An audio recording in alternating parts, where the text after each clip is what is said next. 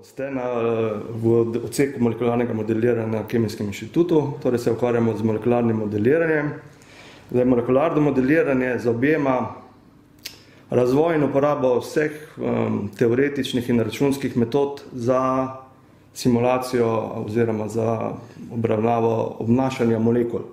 Če hočeš razumeti nek sistem, moraš združiti teoretičen, uh, eksperimentalni in numerični opis. Tukaj sta simulacija v bistvu služi kot nek uh, most med teorijo pa, pa eksperimentom. Ideja molekularnih simulacij je, da pač razložimo uh, makroskopske lastnosti na podlagi mikroskopskih lastnosti sistema. Ne? Naredimo film sistema.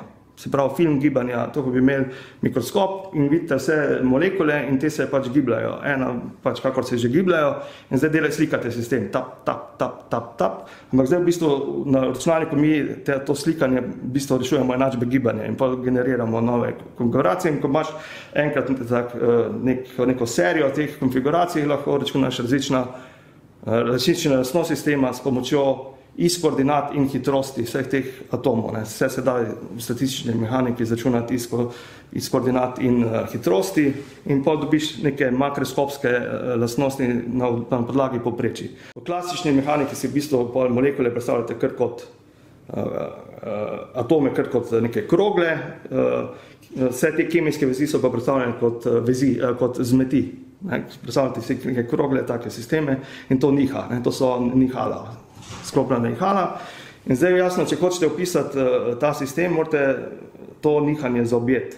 Ampak to nihanje je v, v molekulah na femtosekundni skali, kar pomeni 10 na minus 15 sekunde. To je milijardi, ne, milijoninka, milijardinke sekunde. Ne, to je nič. Se pravi, realno, v realnem času je to ena sekunda nekega življenja, nekega sistema, na računalniškem času je pa to par let, je pa recimo lahko tudi eno leto. Ne ali pa to. In to so te težave teh simulacij, zelo, zelo dolge so. In drugo je pa seveda um, velikost sistemov, ki jih lahko simulirate. Ne. In v, pač v, v tem teoretičnem opisu je, je pač zahteva, da, neko, uh, da, da smo v termodinamski limiti, kar pomeni, da imamo pravka, da te napovedi, teorije držijo v, v limiti neskončnega števila delcev, se pravi, neskončne sisteme bi mogli imeti. Ne kar je v bistvu pa ne mogoče sim, v, sim, v simulaciji doseči, ker bi uporabljali neskončno računalniške pomnilnike, pa neskončne procesore. Ne. Se pravi, morate delati neke eh, aproksimacije oziroma trike. In eh, en trik tak, recimo, so periodični robni pogoji. To pomeni, da ne vzamete neskončnega sistema, ampak samo eno škatlo z nekim končnim številom, ki jo pa potem preslikate uh, na vse strani. Ko en delec na eni strani uh, škatle, simulacijske škatle izstop, ga v bistvu stavimo na drugi škatli noce, prav v bistvu je skozi isto število molekul ali pa atomov v sistemu. Mi smo pa uh, s temi novimi metodami odprli sistem. Spravo dovoljujemo, da molekule zapustijo naš, našo simulacijsko škatlo ali pa vstopajo v simulacijsko škatlo. Ne. In to lahko delamo v termodinamskem ravnovesju ali pa v neravnovesju, lahko imamo to vse nekaj uh, pod določenimi zunanjimi motnjami, torej pod, ali pod recimo tekočinskimi tokovi, to pomeni tok tekočin, ali pa recimo, da, da sistem uh, uh, motimo ali pa se pravi z recimo električnim poljem ali kaj takega. Mi smo pa zdaj naredili pač metode, ki omogočajo te v ravnovesju namesto teh periodičnih robnih pogojev pri konstantnem številu delcev mogočajo uh, simulacijo sistemov, ki izmenjujejo delce z okolico in spreminjajo delce. Zdaj se je to odprlo to, da nam ni treba spreminjati enač gibanje za simulacijo molekulske dinamike pri, pri, pri določenih, pri poljubnih robnih pogojih izven uh, simulacijske škatle. Ne? Ker se sistem sam prilagodi uh, temu, kar, kar, kar pač uh, mi v, v zuni za njim počnemo. Ne?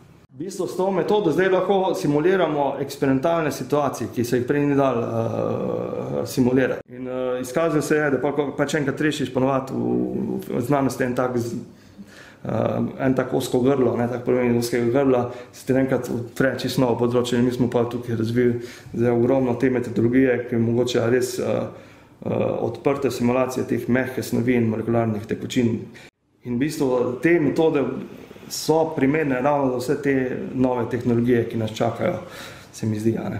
In zato je to zelo pomembno. Prav, jaz mislim, da se bo zdaj, pač, kar se bo v bodočnosti dogajalo, da se bodo vse te iz metode pa pristopi iz različnih teh raznih ved, računalništva, fizike, kemije, pravne matematike združevali, da ne bo to zaprto območje več, ampak da bo to različni, različni pristopi in to bo dalo čisto nove rezultate. Ne.